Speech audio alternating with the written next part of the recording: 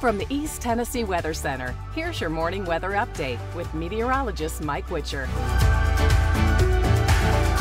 It's Football Friday, my friends, and the orange suit is back. Happy Friday. Sure hope you have a great weekend. Well, the first day of fall arrives on Sunday, but it's going to be feeling like summertime yet again. Let's talk about the almanac from yesterday. We did make it to 87 degrees in Knoxville. We uh, were 93 degrees in Chattanooga, so it was a toasty one. No records. We've been much hotter in years past. 100 degrees set back in 1925 is Chattanooga's record, and 98 in 1925 in Knoxville. Here's the story, though. We're going to be warming up as we head through the upcoming weekend. By the way, grab your sunglasses. You're going to need that for this forecast with this orange suit.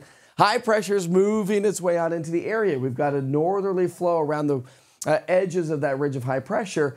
That may throw a couple of little disturbances our way, which may spark off a stray shower or two, kind of like what we saw yesterday. Other than that, though, not a big deal. Let's talk about our future cast for the day today because we're looking at plenty of sunshine. Now, morning dense fog along the rivers and lakes, that's going to lift. As we get past the lunch hour, we're going to see those afternoon clouds. Notice the flow in the atmosphere because high pressures to our south and west. And again, we may spark off an isolated stray shower. I don't anticipate much. I literally threw a 10% chance only for the fact that it can't rule it out, but likely not to accumulate much in the form of rain anywhere around town. So, something to kind of keep in mind. So we start the morning off with temps in the 60s. By lunchtime, we'll climb to the low 80s. We'll see a few afternoon fair weather cumulus clouds developing. And look at these high temperatures. Average highs for this time of year are in the low 80s. We're going to be trending almost 10 degrees above average throughout the day. So it's going to be more of a summer like day. At least the humidity is not too terribly high.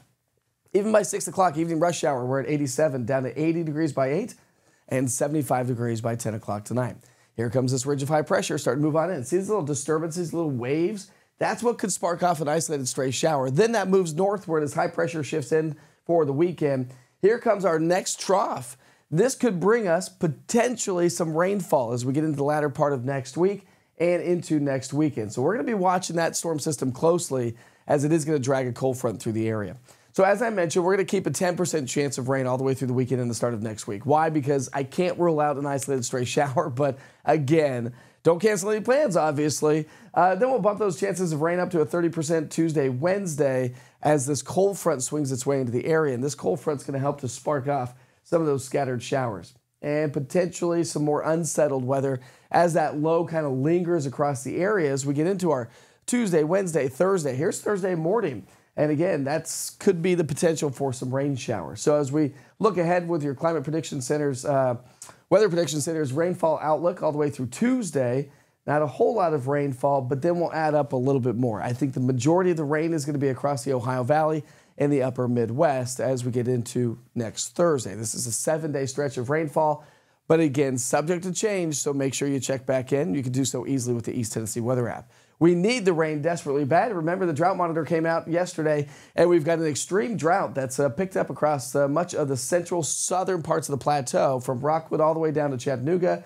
The uh, abnormally dry conditions has lifted northward to encompass much of the Tennessee-Kentucky border, and the moderate drought, uh, excuse me, the severe drought has picked up and started to work its way into parts of Anderson, Knox, Loudon counties, severe, and also Monroe County. So again, we desperately need the rain. We're heading into the driest month of the year but potentially some good news on the way. The Weather Prediction Center is also predicting the possibility of above average precipitation as we round out the month of September and head into the month of October. Keep your fingers crossed, right? We need that we need the rain desperately bad. All right, temperature trend more summer-like all the way through the weekend and the start of next week as that next trough swings through, temperatures will come down back to those seasonal averages and potentially even cooler than that. So we'll see how that all plays out. And it would be brief, it'd be short lived because, again, the Climate Prediction Center is predicting the possibility of above average temperatures. So at least, hopefully, we get a little bit of rainfall.